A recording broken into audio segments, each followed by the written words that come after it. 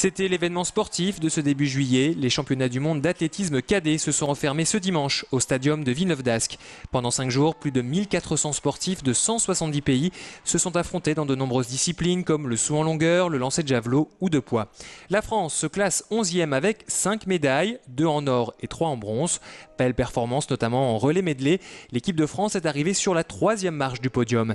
C'était la deuxième médaille pour Michael Meba-Zézé qui avait décroché le bronze sur le 100 mètres très spécial et on a une très bonne ambiance.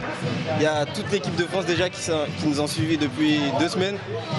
Il y a la famille qui s'est déplacée et tous les amis, ça, motive à, fond pour, pour, faire des bonnes pertes. Pour le 100 mètres, pour la finale du 100 mètres, la finale du 200 mètres et ce fabuleux relais. Très bon relais, mais j'avais encore de la fatigue, sachant que j'avais fait la, finale du 200 mètres avec la ligne 1, c'était très compliqué et là j'ai su tenir le coup. Et ces championnats du monde cadet ont attiré les foules. Plus de 25 000 personnes sont venues applaudir et encourager les talents de demain.